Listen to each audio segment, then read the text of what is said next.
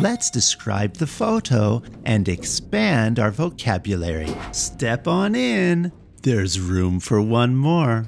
Today, we're spending some time in an office elevator, elevator, or lift in the UK. I can spot nine bored people waiting to escape this enclosed box. To escape, to spot someone means to see them. Everyone is wearing semi formal office clothes, so I imagine they are co workers in a large office building. Maybe they work in a skyscraper. Skyscraper. Nobody seems to be speaking, so there may be some uncomfortable silence in this elevator. Uncomfortable silence.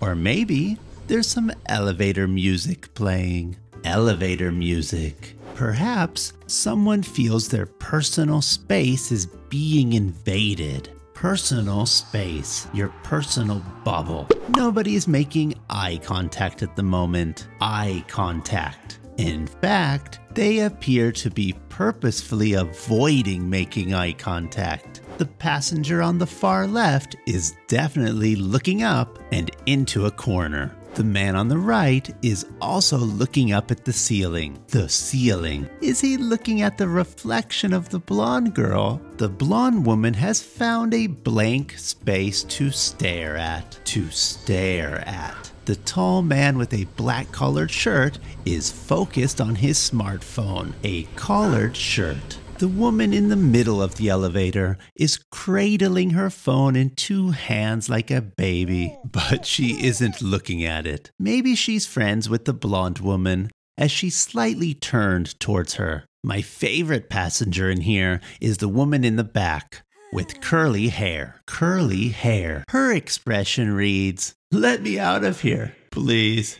Let me out of here. Many of the passengers are also holding their hands in front of them as they try to take up less space in the crowded room. To take up space, to occupy it. So, what are things like in your country? Should one say hello? Or do people do everything they can to ignore each other? And how close is too close if you're standing next to someone? If you have friends from other cultures, ask them about elevator etiquette. Elevator etiquette. It's a fun topic full of unwritten rules. Unwritten rules. For more photo descriptions, check out one of these videos. And remember, communication first, always.